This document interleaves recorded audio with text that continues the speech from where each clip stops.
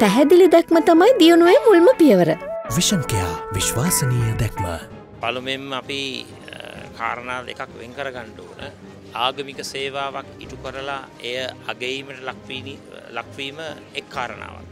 දේශපාලනය තවත් එකක්. මේ කාරණා දෙක පැහැදිලිව අපි වෙන් කරලා කතා කරන්නට ඕන. දසරාජ ධර්මවලට අනුකූලව රටට සුගතියක් අත්වන නව දර්ශනයක් නව වැඩපිළිවෙලක් ක්‍රියාත්ම කිරීම යුගයේ අවශ්‍යතාවය. නැම් මම කතා කරන්නේ මගේ ප්‍රතිපත්තිය ගැන. මම මොනම අවස්ථාවකදීවත් මොනම හේතුවකටවත් පැරණි රජදරුවන් පිළිබඳවත් නිදහසෙන් පසුව ප්‍රජාතන්ත්‍රවාදී දේශපාලනය තුළ නිර්මාණය වුණු රටේ නායකින් ගැනවත් මම සඳහන් කරන්නට යන්නේ නෑ.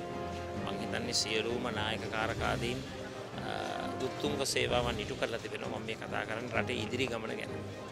වගකීම් ලැබෙනවද නැද්ද කියන එක ඔබතුමාටවත් මටවත් තීන්දුව කරන්න බෑ. ඒව තීන්දුව කරන්නේ රටේ ජනතාව.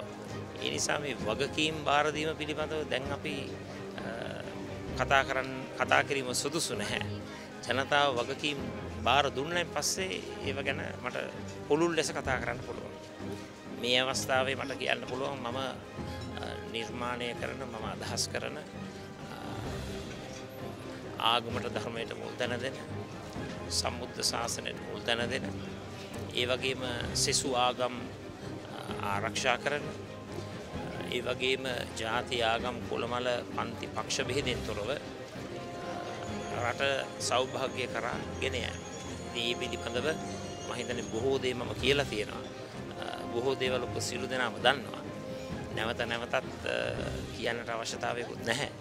මොනවා හරි නොතේරෙන දෙයක් තියෙනවා නම් මගෙන් අහන්න මම ඒතර විග්‍රහ කරලා දෙනවා. වඩාත්ම සුදුසුයි ඒ ප්‍රශ්නයට පිළිතුර මහානායක මහින්පාණන් වහන්සේලාගෙන්ම මම හිතන්නේ අද දවසේ ඇහුණයි කියලා මම හිතනවා.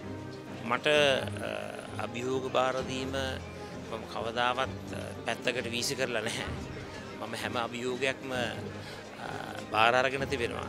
නමුත් වර්තමාන අභියෝගය ඉක්මනින්ම එක්සත් ජාතික පෙරමුණ අපේක්ෂක ඇති ඉදු කිරීමයි. එහෙම නැතු ප්‍රාදේශීය සභාවක ඡන්දයක් නෙවෙයි වර්තමාන අභියෝගය. වර්තමාන අභියෝගය රටේ ජනතාවගේ පැතුම ඉක්මනින්ම රටේ අනාගතය තීන්දුව තීරණ කර ගැනීම සඳහා එක්සත් ජාතික පෙරමුණේ අපේක්ෂක තීන්දුව කිරීමයි ලොකුම අභියෝගය.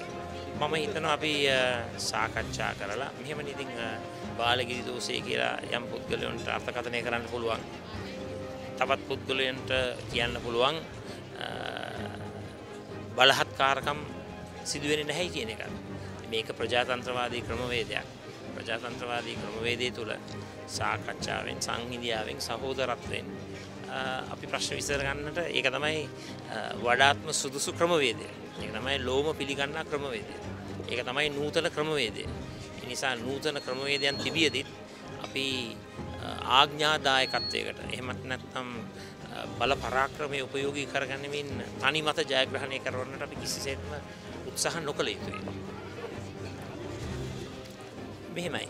තාම අපේක්ෂක තීන්දුව වෙලා නැහැනේ. ඒ අපේක්ෂකත්වයේ පිළිබඳව සාකච්ඡාවෙන් සංහිඳියාවෙන් ඒ තීන්දුව තීරණ වලට අපි ප්‍රවේශ වෙනවා.